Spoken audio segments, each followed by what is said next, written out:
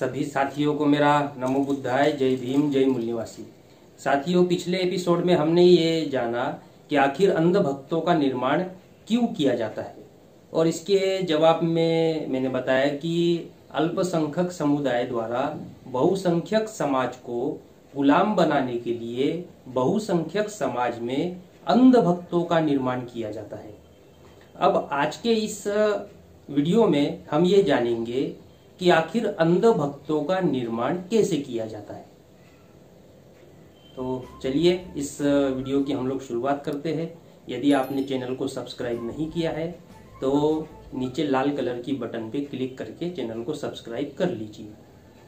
तो साथियों अंध भक्त कैसे निर्माण होते हैं, इसे जानने के पहले हमें इस बात को समझ लेना चाहिए कि अंध भक्त जो है, वो कोई माँ के पेट से निकल कर नहीं आता है, या वह कोई आनुवंशिक गुण नहीं है कि पिता से पुत्र में आता है, या अंध भक्त अंध भक्त जो है, ये ऐसा कोई आसमान से टपकने वाला व्यक्ति नहीं है, बल्कि इसे एक प्रोसेस द्वारा बनाया जाता है। अब अंध भक्त बनाना ये कितना कठिन कार्य है इसकी शायद आपको कल्पना होगी, नहीं होगी लेकिन लोगों को अंधभक्त बनाना बहुत कठिन काम है। हम लोग आसानी से कह देते हैं कि फलाना व्यक्ति अंधभक्त है ठिकाना अंध भक्त है। लेकिन जिन लोगों को, यानी कि अल्पसंख्यक समुदाय, वो बहुसंख्यक को जब अंध भक्त बनाने की प्रक्रिया अपनाता है तो उनको बहुत मेहनत करनी पड़ती है इसके लिए। साम, दाम, दंड, भेद अपनाने पड़ते हैं। बहुत सारे रास्ते अपनाने पड़ते हैं। अब ऐसा क्यों करना पड़ता है? क्योंकि अंधभक्ति जो है या अंधभक्त, ये टोटली ह्यूमन साइकोलॉजी से जुड़ा हुआ विषय है। ये मानव के व्यवहार से जुड़ा हुआ विषय है। यदि आप ध्यान पूर्वक मानव के व्यवहार का अध्ययन करेंगे तो ये जो मानव है, ये सभी प्राणियों में मानव एक ऐसा प्राणी है जो कि जिज्ञासा रखता है, क्योंकि उसके पास में बुद्धि है, मस्तिष्क है, उसके पास में चित्त है तो हर एक बात को जानने की जिज्ञासा रखता है। और ये जिज्ञासा बचपन से ही पैदा होते सी उसके मन में आती है। आप छोटे बच्चों को देखे होंगे, वो किसी भी छोटी सी चीज़ को पकड़ के उसे जानने की कोशिश करते, आखिर ये है क्या? वो मुँह में डालते हैं, कोई भी चीज़ जो है वो मिली कि वो मुँह में डालते हैं या उसे देखते हैं। जैसे जैसे बच्चा बड़ा होते जाता है वैसे वैसे उसके मन में बहुत सारी जिज्ञासाएँ पैदा होती है। जो भी वो इन्वायरमेंट में जहाँ वो रहता है, उसके आसपास जो चीज़ें दिखाई देती है, उसको जानने की जिज्ञासा उसके अंदर बहुत ज़्यादा होती है। और ये प्रत्येक ह्यूमन बींग में होता है। तो ये जो मानव के अंदर जिज्ञासा है, ये जिज्ञासा जानने की है, प्रश्न करने की है, खोजने की है। तो इस जिज्ञासा को शांत करके उसको किसी प्रश्न के लिए तैयार न करना या प्रश्न करने से रोकना और उसे अपने बुद्धि का, तर्क का उपयोग किए बिना केवल अंधे होकर फॉलो करने के लिए तैयार करना, ये तो बड़ी बात है।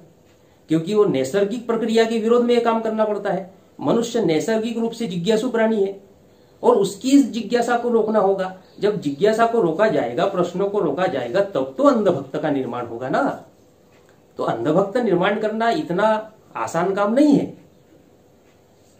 तो अब अगर मान लीजिए किसी अल्पसंख्यक समुदाय को बहुसंख्यक समाज में, बहुसंख्यक समुदाय में अंधभक्त का निर्माण करना है तो सबसे पहले उन्हें इस बात को समझना होता है कि आखिर मनुष्य कितने प्रकार के होते हैं।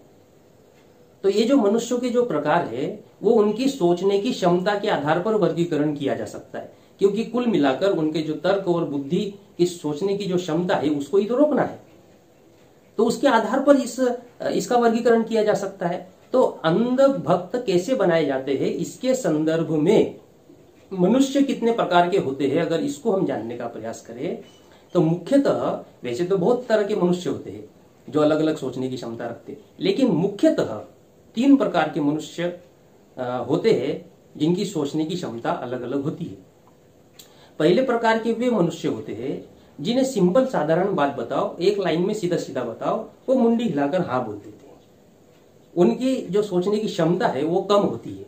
वो, उन्हें अगर कोई बात बताए तो उस, उनके अंदर इतनी क्षमता नहीं होती है कि कोई बात बताने पर उस बात के लिए या उस बात के विरोध में या उस बात के समर्थन में भी हो वो प्रति प्रश्न कर सके। इतना उनकी बुद्धि नहीं चलती इतना उनका तर्क ही काम नहीं करता है कि अगर कोई बात बताई जाए तो उसके आ, समर्थन में या विरोध में वो प्रति प्रश्न कर सके। उन्हें जैसा बताया वैसा वो हाँ कर देते हैं। मुंडी हिला के हाँ ठीक है जैसा है वैसा सही है।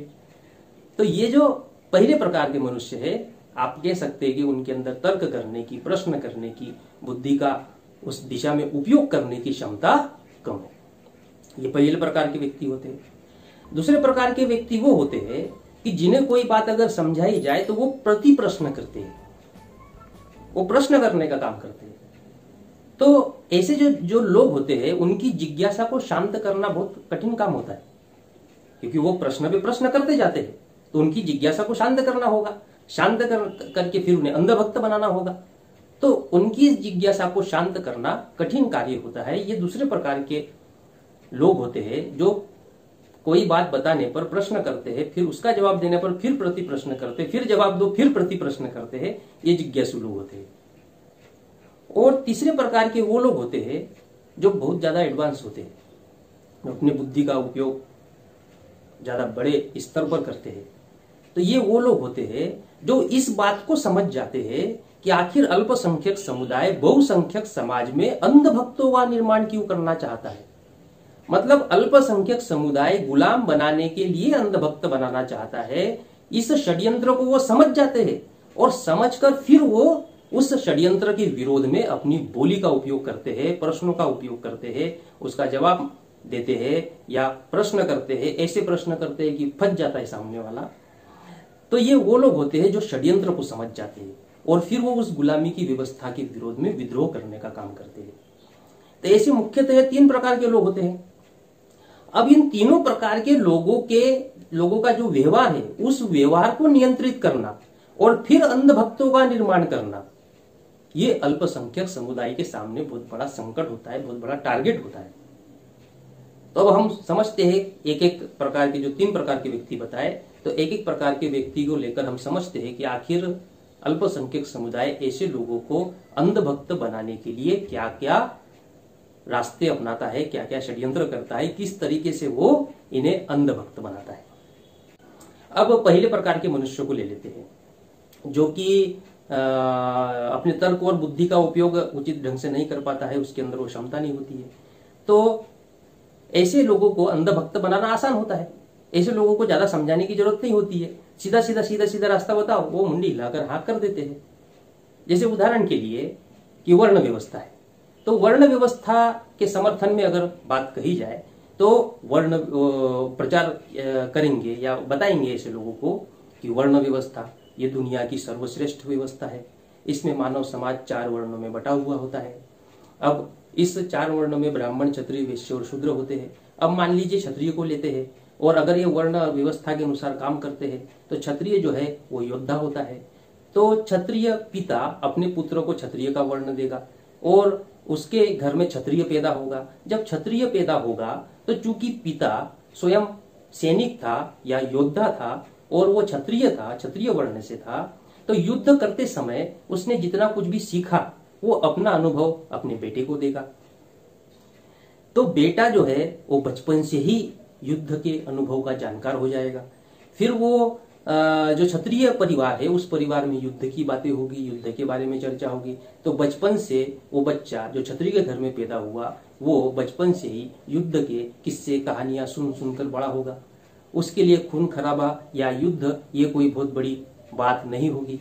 जब ये बड़ी बात नहीं होगी तो उसके अंदर जो युद्ध करने का जो जो मानसिकता है वो पहले से ही अपने परिवार से ही निर्माण होगी। तो जब वो बड़ा होगा तो एक कुशल योद्धा के रूप में तैयार होगा। और जब कुशल योद्धा बनेगा तो हमारे राज्य को एक कुशल, सैनिक कुशल योद्धा प्राप्त होगा। इससे हमारे राज्य और मातृभूमि को कोई गुलाम नहीं बना सकता। तो ये क्या है? ये सीधा सीधा वर्ण व्यवस्था के समर्थन में समझाना है। अब जो पहले प्रकार का व्यक्ति है, वो तो इस बात को मान जाएगा। ये तो अच्छी बात है। हमारे हमारे राज्य की या हमारी मातृभूमि की रक्षा के लिए वर्ण व्यवस्था से हमें कुशल योद्धा प्राप्त हो रहा है। ये बात भी सही है कि उसके पिता जब योद्धा रहे हैं तो अपने बेटे को तो वो गुण सिखाएँगे, अपने बेटे को अनुभव अपना साझा करेंगे। जब साझा करेंगे तो हमें, हमारे राज्य को कुशल योद्धा प्राप्त होगा। तो वर्ण व्यवस्था तो बहुत अच्छी है। तो जो पहले प्रकार का व्यक्ति है, वो इस बात को मान जाएगा कि वो उतना उपयोग तो करता है नहीं।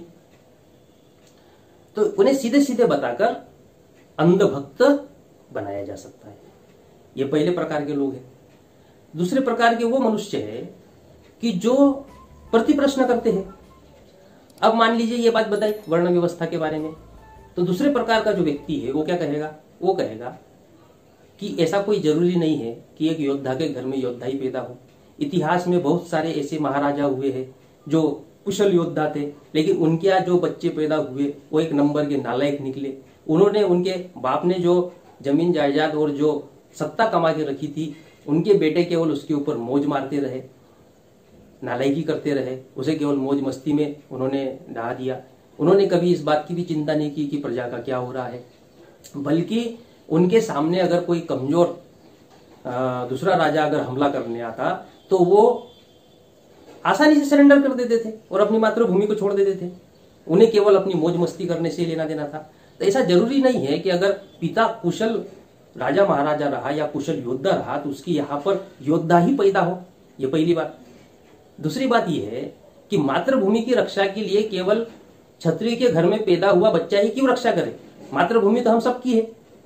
तो सबको योद्धा बनने का अवसर मिलना चाहिए। सब हमारे अपने मातृभूमि की रक्षा करने चाहिए।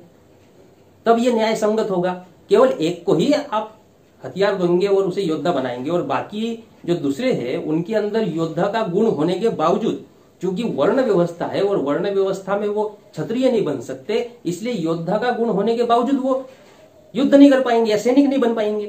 तो इससे तो हमारे राज्य को एक कुशल योद्धा योद्धा की कमी हो जाएगी और हमारा राज्य जो है किसी और के अधीन चला जाएगा। इसलिए यह वर्ण व्यवस्था गलत है। तो तो ये वर्ण वो, वो कहेगा कि यह वर्ण व्यवस्था गलत है इसकी जगह गण व्यवस्था लानी चाहिए। गण व्यवस्था में राज्य में रहने वाला कोई भी व्यक्ति, वो उस गण का सदस्य बन सकता था और संकट आने पर वो युद्ध भी कर सकता था। तो ये वर्ण व्यवस्था नहीं होनी चाहिए। तो जब वो वर्ण व्यवस्था का विरोध करेगा तो फिर अल्पसंख्यक लोगों के सामने यह संकट खड़ा होगा कि इसका मुँह कैसे बंद किया जाए। क्योंकि वो प्रश्न का प्रश्न का जवाब देंगे, एक प्रश्न का जवाब देंगे, वो फिर प्रति प्रश्न करेगा, क्योंकि वो तो जिज्ञासा तो है उसके अंदर। दूसरे प्रकार का जो व्यक्ति है, वो प्रति प्रश्न करने वाला व्यक्ति है। अगर इन्होंने जवाब दिया, फिर वो प्रति प्रश्न करेगा, फिर जवाब दिया, फिर प्रति प्रश्न करेगा। तो ऐसे लोगों को भक्त बनाने के लिए या अंध भक्त बनाने के लिए फिर अल्पसंख्यक लोगों ने दूसरा रास्ता अपनाया। उन्होंने ये कहा कि भाई, वर्ण व्यवस्था ये हमने थोड़ी बनाई है जो आप विरोध कर रहे हो। ये तो साक्षात ईश्वर की बनाई हुई व्यवस्था है। ईश्वर ने वर्ण व्यवस्था बनाई है। इसलिए इस ईश्वर की व्यवस्था का आप विरोध नहीं कर सकते। अगर आप ईश्वर का विरोध करोगे तो आपको नरक में यातनाएँ सहनी पड़ेगी। आपको कष्ट सहना पड़ेगा। जो ईश्वर है, भगवान है, उसकी लाठी में आवाज़ नहीं होती है, लेकिन पड़ती जम के है। तो जो प्रश्न करते हैं, प्रति प्रश्न करते हैं, उनके लिए जवाब। क्या ईश्वर ने यह वर्ण व्यवस्था बनाई है? वो सर्वशक्तिमान है। उस ईश्वर से डरो। तो यह क्या किया? डर का सहारा लिया। डरो उस ईश्वर से, वो सर्वशक्तिमान है, सबसे ज़्यादा शक्ति उसी के पास है। उसी ने हमको बनाया है, उसी ने इस दुनिया को बनाया है। वही संचालन करता है, उसकी सभी पे नज़र होती है। और उस ईश्वर ने वर्ण व्यवस्था बनाई है तो तुम अगर वर्ण व्यवस्था का विरोध कर रहे हो मतलब साक्षात ईश्वर का विरोध कर रहे हो, डरो उस ईश्वर से। तो ये दूसरा रास्ता वो अपनाते हैं, डर का। और डर के लिए उपयोग करते हैं ईश्वर का।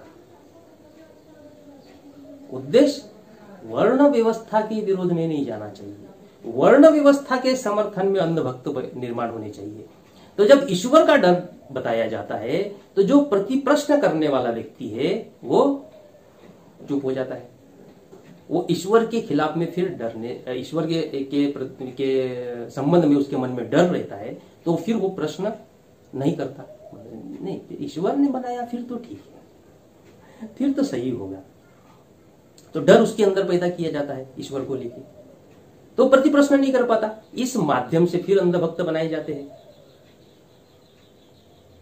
डर का सहारा लेकर, ईश्वर का सहारा लेकर फिर अंधभक्त बनाए जाते हैं और फिर जो प्रति प्रश्न करने वाला व्यक्ति है, वो वर्ण व्यवस्था को समर्थन दे देता है और वो अपनी बुद्धि का तर्क का उपयोग प्रश्न करने के लिए कर सकता था, लेकिन वो अपनी बुद्धि का उपयोग नहीं करता है, क्योंकि वो ईश्वर के नाम से डर जाता है। इस तरीके से अंधभक्त का निर्माण किया जाता है। ये दूसरे प्रकार के लोग हैं, जिनके व्यवहार को नियंत्रित किया जाता है। तीसरे प्रकार के जो लोग हैं, वो अल्पसंख्यक समुदाय, जो बहुजन समाज को अंधभक्त बनाता है, उसके षड्यंत्र को समझ जाते हैं कि ये लोग गुलाम बनाने के लिए षड्यंत्र किए हुए हैं, इसीलिए वो अंधभक्त बना रहे हैं। तब तीसरे प्रकार के जो लोग हैं, वो इस गुलामी की व्यवस्था या इस षड्यंत्र के विरोध में बोलना शुरू कर देते हैं। जब बोलना शुरू करते हैं तो ऐसे लोगों को ईश्वर का डर लगा, दिखा के नहीं चुप कराया जा सकता। वो तो खुद ही ईश्वर के खिलाफ में बोलते हैं। उनको ईश्वर का डर दिखा के क्या चुप कराएँगे? अंध भक्त बनने को तैयार नहीं रहते हैं। तो फिर ऐसे लोगों के लिए कानून बनाए जाते हैं। कायदे कानून। तो कायदे कानून बनाए जाते हैं और क्योंकि अल्पसंख्यक समुदाय को पता होता है कि इसका मुँह नहीं बंद किया जा सकता तो फिर वो कायदे कानून बनाते हैं, ऐसे कानून बनाते हैं कि यदि वो विरोध में अगर बात करता है तो उसे मृत्यु दंड तक दिया जा सकता है। क्यों? ताकि वो अपनी बोली ना बोले। तो अंधभक्त भी बोली नहीं बोलता है, प्रश्न नहीं करता है।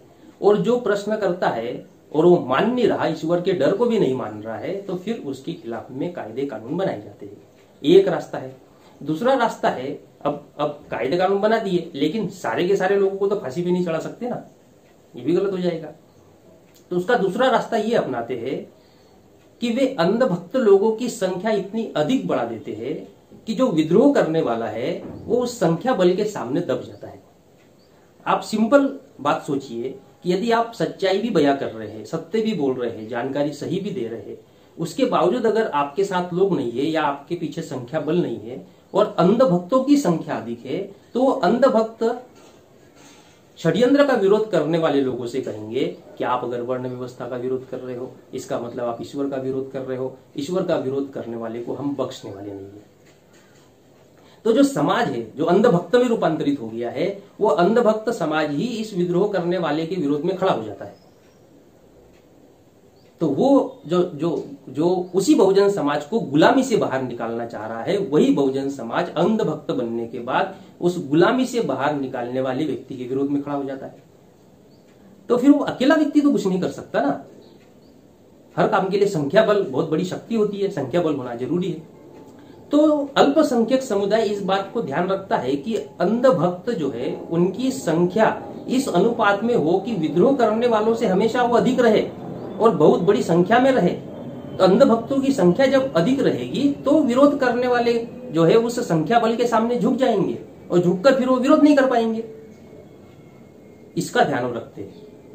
तो इस सामाजिक रूप से और मानसिक रूप से दबाव में फिर वो जो विरोध करने वाला व्यक्ति है, वो भी उस अनुपात में विरोध नहीं कर पाता है और इस तरीके से उनकी बोली को भी रोक दिया जाता है। तो इस तरह ये तीन प्रकार के जो लोग हैं इनके इस जिज्ञासा के जो व्यवहार है, उनका जो नैसर्गिक नैसर्गिक आचरण है, उस पर लगाम लगाकर फिर उनको अंधभक्त बना दिया जाता है। और फिर अंधभक्त बनाकर फिर अपनी इस व्यवस्था को, जिसमें कि अल्पसंख्यक समुदाय हमेशा सर्वश्रेष्ठ बने रहे, हमेशा शासन सत्ता पर, धार्मिक सत्ता पर, राजनीतिक सत्ता पर कब्जा बना रहे, इसके लिए वो फिर निरंतर कार्य करते रहते हैं। और ये जो अंधभक्त बनाने का काम है, ये हर पीढ़ी दर पीढ़ी करते हैं। अंधभक्त बनाने के लिए जीवन के 10 साल 20 साल 30 साल ज़िंदगी लगा देनी पड़ती है, तब जाके आम जनता अंधभक्त बनती है। ऐसे नहीं बन जाती है। अंधभक्त बनाना पड़ता है। ये काम अल्पसंख्यक समुदाय करता है। तो ये जो तरीका है, पहले समझाने का, फिर ईश्वर का डर दिखाने का, नरक का डर दिखाने का, स्वर्ग का लालसा दिखाने का और भी ऐसे कई तमाम रास्ते हैं जिनको अपनाकर वो अंधभक्तों का निर्माण करते हैं और उन अंधभक्तों के माध्यम से फिर इस गुलामी की व्यवस्था को ज्यो का त्यो बनाए रखने का प्रयास निरंतर करते रहते हैं। तो इस तरीके से ये अंधभक्त निर्माण किए जाते हैं। तो आज के इस टॉपिक में मैं यही बताना चाह रहा था कि अंधभक्त कैसे निर्माण होते हैं।